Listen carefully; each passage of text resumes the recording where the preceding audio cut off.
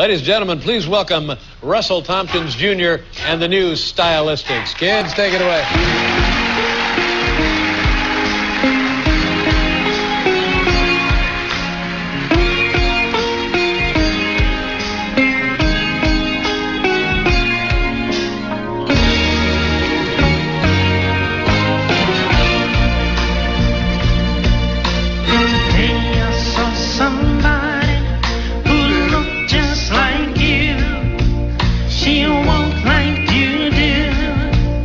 I thought it was you.